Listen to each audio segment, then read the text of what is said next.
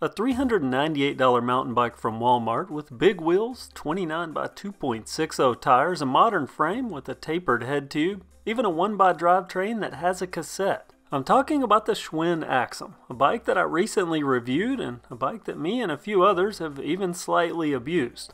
And it's not just me, lots of people are talking about and buying the Schwinn Axum.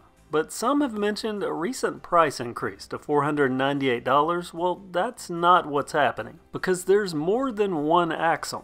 There's a new blue one. It's all that we loved about the previous model, plus a bonus, and it's called the Axum DP. DP because this version comes with a factory equipped dropper post. Yeah, Walmart now sells a bike with a dropper post for under $500. A fair question would be, is this the same bike with an addition or did they sacrifice some features to meet a price point? Let's take a look. We'll start with the 720mm 31.8 diameter flat bars with lock-on grips and a trigger shifter all the same. But on the left side of the bars is the new remote for operating the dropper post along with its cabling which routes down the down tube into the same access that's made into the standard Axum. There's an identical stem, though for the DP there's no gold spacer, an all black stack. Tapered head tube, present and accounted for. Along with the suspension fork with its preload control, manual lockout, and 100 millimeters of travel. And it wouldn't be an Axum without the big 29 by 2.60 tires and those big wheels, 35 millimeter rims. Still has the mechanical disc brakes with a 180mm rotor up front and 160 at the rear. And let me clarify something here. I've seen it mentioned that the Axum has a rear through axle, and that's not accurate. It's a standard quick release. Like its namesake, the DP has a 1x drivetrain with a 30-tooth chainring, an axe rear derailleur, and an 8-speed 11 to 40 tooth cassette. But the chain, no gold. Silver here, this is cosmetic only because they went with metal flake that's silver in the paint. And that new finish, which depending upon the light goes from matte to metallic, blue to purple, there are light blues to deep blues, purple that goes from dark to more vibrant. It's very dynamic, though from a distance it's usually subdued. The regular Axum was already a great bike, and you add a dropper seat post to that, and does it make it worth the extra money? Well, let me show you the component they included. The branding is Exaform, I think I'm saying that properly, and the sizing 30.9 by 395. And installing it, very simple. The connection point is for a standard mountain bike cable with a barrel end. No fancy tools required, nothing more than fingers. First, I'm going to remove the reflector because the post won't seat properly if that's left in place. Then I'm going to pull the pre-routed cable up and out of the seat tube just enough to have something to work with. Then I'm going to insert the barrel end of the cable into the dropper's connector. It slides in sideways. There's a channel for the cable to sit in when the barrel is in its proper place. There's not much muscle involved in this installation, but there is a bit of tugging on the cable housing, enough to pull it down so it can be seated into the bottom of the post assembly. And then the easiest part, sliding the dropper post into the seat tube. Note that as it inserts, I'm pulling the slack from the cable housing, and it all goes right into place, held firm by securing the seat post clamp. As I said, simple and easy, and here's where I was pulling the cable as I was installing. The bike comes with an owner's manual, but there's no mention of the dropper post in it. In the accessory box, however, there are actually two user manuals, both for the dropper post, and the first is KS branded. The other one, Exaform branded. I think Exaform is a KS brand. I'll talk more about that in a bit.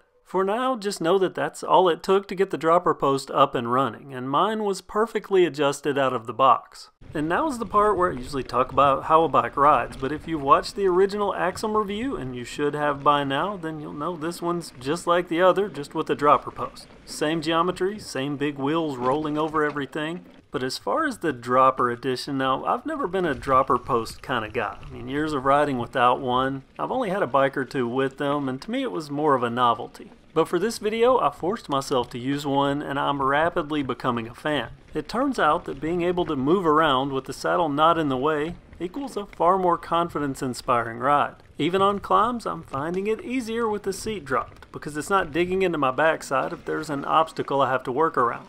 Now I struggled with how I was going to relay this on camera because it's just me, a GoPro, and a tripod. And this is what I came up with. There's a ditch that I regularly ride through on the warm-up loop and nothing looks steep on camera but here you can see, hopefully, that it's taller than the bike and somewhat vertical. Here's the benefit, going into the obstacle I can drop the post. Then take the obstacle and then raise after while continuing with the standard ride motions. Drop, conquer, then raise. See how fluid that is? I also discovered that for cases like this bike where the 19 inch frame is right at the peak of my comfort level, I can use the dropper to easily mount and dismount the bike. A simple push of the button and I'm flat footing it and the transition from flat foot to normal riding height, remote press, and done. And I found other perks, like when pushing the bike up hills I'm too out of shape to climb thanks to 8 plus quarantine pounds, variable assist handle, and at points, a rest bench. All kidding aside, there's lots to this, and now I'm liking the idea of a dropper on bikes that have internal cable routing. It really does make a difference in my ability to be where I want to be as I maneuver a bike. Along with myself, there are three others that have ridden my standard Axum, and we all have the same observation. It's a capable bike out of the box, and fun to ride.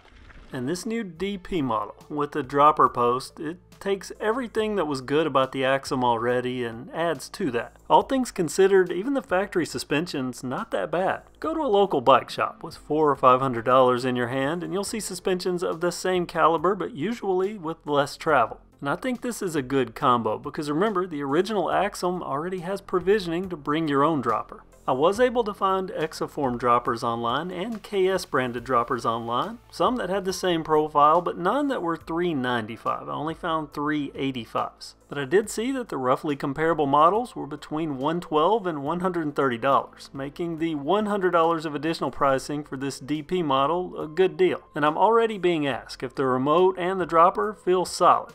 Well, the remote, solid enough, and the dropper, quick and smooth. Smooth enough for some cinematic seat raisings. Now, I'm not a dropper post expert, but this does not look or feel cheap in any way to me. Plus, if you're someone that shares a bike or someone else just wants to ride yours, you don't have to worry about trying to find that sweet spot again with a seat post and a quick release clamp. Everyone can pick their height and ride comfortably, and when you get your bike back, right back up to the top and you're good to go. The bike's color, that's a matter of personal preference. Both look great to me, but the blue slightly more dynamic because it can change to purple under certain angles and certain lighting. Plus, blue is one of my favorite colors. Whichever finish, both Axum models they're a new benchmark for features versus price and for us big box bike shoppers. I think this is a compelling purchase decision that can hold some ground versus entry-level local bike shop offerings. Do you agree that these new Axums are legit and that an Axum with a dropper post for under $500 is a big, big deal? Comment below and let me hear your thoughts and also which one would you pick, the standard Axum or this DP model?